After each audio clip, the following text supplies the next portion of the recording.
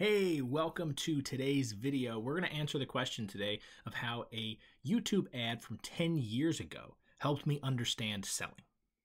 Let's break it down.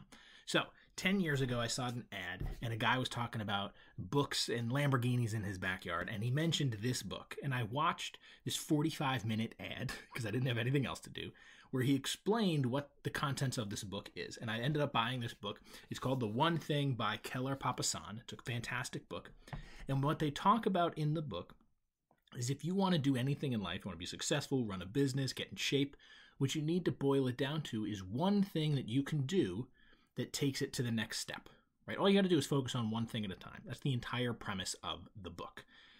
When I first digested this 10 years ago, I didn't think it was going to help me in this type of way. Yeah, I knew it was going to help me in business. I knew it was going to help me in life, but not in the context of what I'm going to talk about today. And that has to do with selling in your dog training funnel. When you build an application funnel as a dog trainer, you're trying to move someone along the path, along the journey of the sales process in a structured, organized, optimized way by looking at the numbers and seeing the conversion rates. And we can get really complicated, but really you're trying to optimize at, to the best of your ability your capability of selling someone and convincing them that the service you provide, the offers that you have, is exactly what they're looking for. And that can be boiled down to one thing. If you can convince them of one thing, whatever that thing is, right? For me, it was the dog training cheat codes, my book. So my headline, learn the secrets that dog owners just like you use to fix problem behaviors and build a stronger relationship with their dog. The one thing I need to convince them of is that this book, The Dog Training Cheat Codes, which if you want a copy, I'll put the link in the, the comment section. If the one thing that they need to know is the secrets. That's it. The only reason they don't have a stronger relationship with their dog and they have these problem behaviors is because they don't know the secrets. That's all I'm trying to convince them of when it comes to selling. If they had the secrets, then they could have a strong relationship and fix problem behaviors. Your training might be a board and train program. So say, hey, the one thing I need to convince my potential client is the environment their dog is in right now isn't conducive for the learning stage, the teaching phase of training.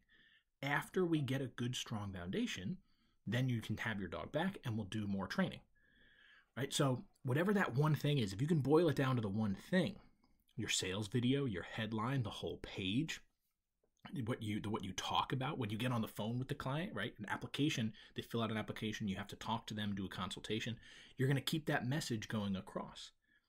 And all you need to do is convince them of one thing. Your job is to figure out what that one thing is and then get really good at convincing other people, handling all of the objections that they may have, their fears, right? Their internal fears. Hey, I, even if I had the secrets, it's not going to work. Some people might think that, right? Even if I had the secrets, it's not going to work if you give me the book. They're external. Well, how do I know the book even works? So that's testimonials, that's authority building, right?